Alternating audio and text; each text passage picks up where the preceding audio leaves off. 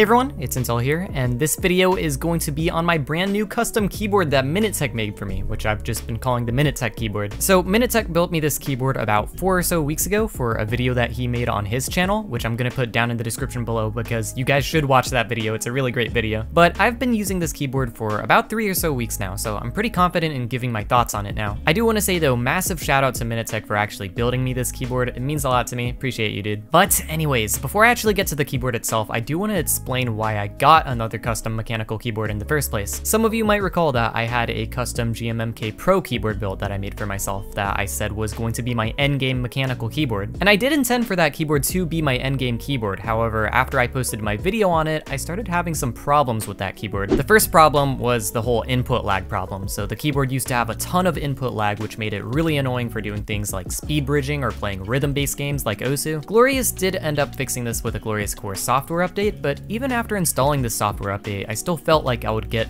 random input lag spikes that were really, really annoying. And the second problem that I had with it was that random switches would just keep failing out of nowhere. This happened to a total of about 8 or 9 switches on the keyboard, which is a lot. Luckily, I had replacement switches though, so whenever one switch died, I just swap it out with another one. But this problem made me lose a lot of my confidence with the durability of the keyboard as a whole, and when MinuteTech offered to build me a new custom keyboard, I was more than happy to accept. When MinuteTech asked me what kind of keyboard I wanted, I told him two things. I said that I wanted something that was stealthy and something that was silent. And I think that he really pulled through with this keyboard build. So the keyboard itself is a KDB65 Lite R3 and it uses looped Helios switches with looped Durock stabilizers and Enjoy PBT blank keycaps. If you're not a keyboard nerd and you have no idea what any of that means, then don't worry because I'm gonna break it down for you guys. The foundation of this keyboard is the KDB67 Lite R3.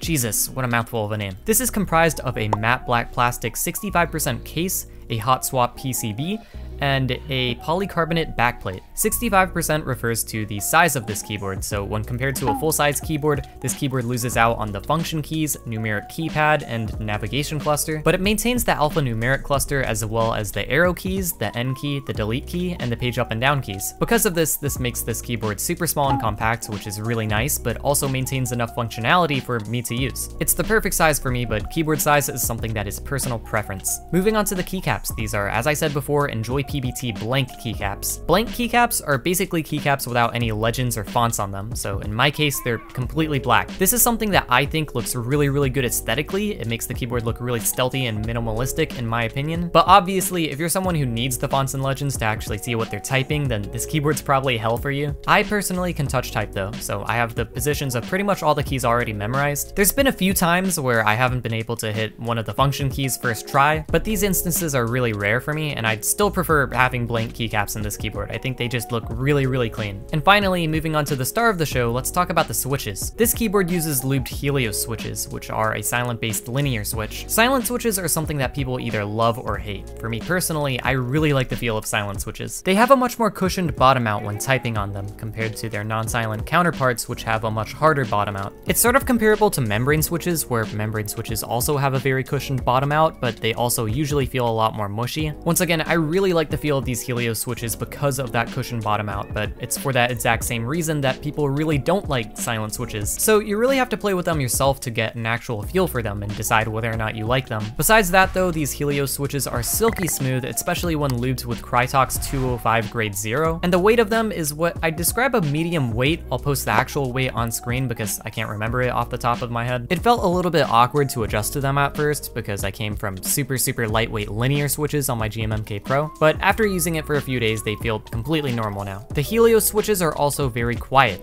I mean, why wouldn't they be? They're silent switches. Even though they're quiet though, they actually have a really nice, satisfying sound to them in my opinion. I'll throw up a sound test right now so you guys can let me know in the comments what you think of the sound of this keyboard.